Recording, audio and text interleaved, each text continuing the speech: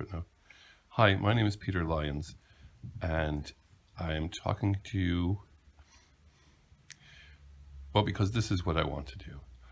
I have some ideas through my own life experience regarding trauma.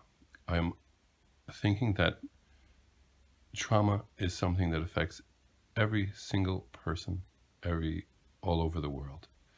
I have this theory that I want to explore about how one reco uh, recovers from that. I am not an expert on it. I'm a person who has experienced their own traumas. I'm a person who has experienced working with many different types of people in different types of setting, residential drug and alcohol programs, outpatient, psychiatric, you know, all over the world. Um, and for a few years now, I have not been actively working in that field. I was privileged to be able to stay home uh, and be, be, a house dad. And, and now that my daughter is away at university, I find that I'm really, and I always have, been missing working with people uh, because working with people stimulates me to work on myself. I'm hoping to do a series of videos exploring with you my, my beliefs that I also believe would be helpful to, uh, to, to some of you listening. Um, we're going to talk about things like compassion, forgiveness, kindness, um, awareness. Uh, one of my favorite terms that I'm going to really go on a ramble about is, uh, I, I, heard it first from uh, Mel Robbins, unpacking. Unpacking. That is like so cool. We're going to talk about metaphor, language. As I'm a writer and a poet, I, I have, a, I have a, a deep interest in language and how we can use that as healing, how it's been used as, as harm, how it can be used creativ creatively. But it's not a, a, I'm not going to do a series of lectures or uh, videos on how to write or on how to do anything.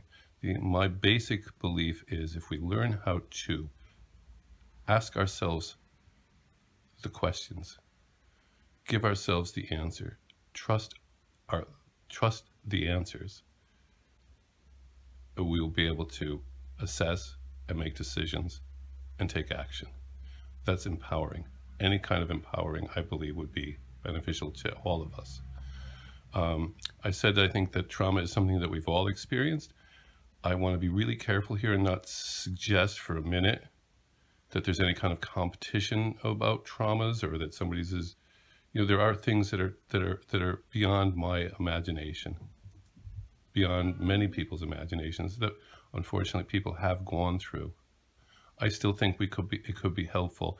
I still will try my best to, no matter what I say, to always be keenly aware of that for for for what may sound easy for uh, some people could be terribly difficult for other people. But again, because I will go back to kindness, compassion, how we do it for ourselves. I think we need to empower ourselves before we start talking about giving things away, giving away kind, giving forgiveness, giving kindness, giving um, ourselves away. We have to start learning about who we really are. I hope you'll join me.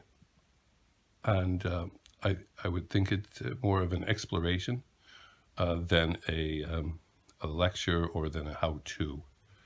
Um, in closing, I just want to say, like, the, the, the spirit of it is this. I think that the, the ancient wisdom, the wisdom that we've heard so much about, the, the, the wise, the wisdom of humanity is in the individual. And I think for, for a lot of us, we've been pushed to go be, our parents know better, our bosses know better, our, our, our governments know better, our doctors know better. You know, and I'm not saying that there's not times and places where we really need to assess whether or not we need to go to this professional or that professional. But I want to encourage us to be strong enough to have a conversation and assess and make a decision that we do that because we want to do that, not because we're supposed to. Uh, and that's kind of all I want to say right now because uh, this is, again, I don't do videos. I've never done one in my life. Uh, so I'm going to be a little blah, blah, blah sometimes. Um, and there'll be lots of ums and ahs. So forgive me, but I don't want to write a script. I want to talk to you from the heart because the only time anything meant anything to me was when people talked to me from the heart and were willing to be in it with me. Thanks. Good luck. Bye.